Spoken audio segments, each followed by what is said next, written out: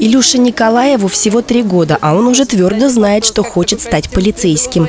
Благотворительный забег «Я бегу, ребенку помогу» для него хорошая возможность примерить форму. С жезлом и в фуражке будущий страж правопорядка преодолел 600-метровую дистанцию. Наш ребенок с детства очень любит полицейских. У нас все машины только полицейские с мигалками, поэтому выбора у нас не было. Он сам выбрал себе в интернете костюм полицейского, поэтому ну, пришлось купить именно такой костюм. Мальвина и индейцы, Дед Мороз и Снегурочка, пираты, взявшие в плен принцессу, на костюмированном забеге бежали рядом. Здесь нет места спортивным интригам и допинговым скандалам. Участники акции объединены не желанием стать первым, а стремлением помочь детям с ограниченными возможностями здоровья.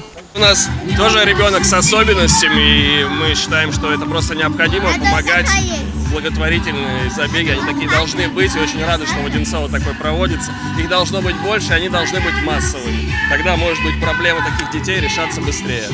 Рекордная дистанция для чемпиона России по триатлону и велоспорту Ярослава Святославского – 226 километров. Ее он преодолевал два раза.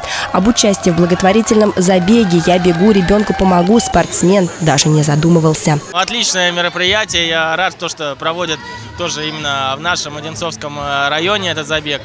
Желаю только, чтобы таких забегов было как можно еще больше. Помочь детям с ограниченными возможностями здоровья можно было не только пробежав одну из дистанций. На благотворительной акции работала ярмарка изделий одинцовских мастериц. Официальный представитель зайцев, это я их делала своими руками. У каждого зайчика есть свое имя, должность даже местами. Кто-то пират, балерина уже убежала. Очень важно помогать людям, очень важно помогать детям, тем, кто в этом нуждается. На самом деле такие мероприятия очень сильно сплачивают. Ну, не говоря уже о том, что это а, замечательный повод провести воскресный день а, в очень красивом месте, в замечательном парке, а, с друзьями и, как говорится, совместить приятное с полезным. Все участники благотворительной акции перед забегом сделали обязательный денежный взнос. Его размер в этом году составлял от 100 до 700 рублей.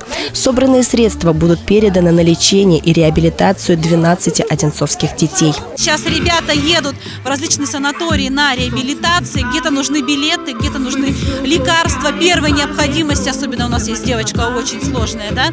А, и а, сегодня у нас есть небольшой спонсор, который вручит сертификаты на очень приличную сумму. Возможно, это будет превысить наши сборы двум организациям для детей, для реабилитации, там массаж, у них там еще что-то есть с связанное. Оказать адресную помощь детям, нуждающимся в дорогостоящем лечении, реабилитации – главная, но не единственная цель благотворительного забега. Организаторы признаются, что хотят приблизиться к определению людей с ограниченными возможностями здоровья, которые действуют в одной из скандинавских стран. Но это невозможно осуществить без создания дружелюбной городской среды для всех без исключения. Только те люди, которые не могут участвовать активно в общественной деятельности, считаются с ограниченными возможностями здоровья. Остальные, кто могут, неважно, в коляске они, не в коляске, как они говорят, со специальными инструментами и еще что-то, они таковыми не считаются, если есть определенная, доступная, дружелюбная среда для всех. В благотворительном забеге «Я бегу, ребенку помогу» в этом году приняли участие более 1700 человек.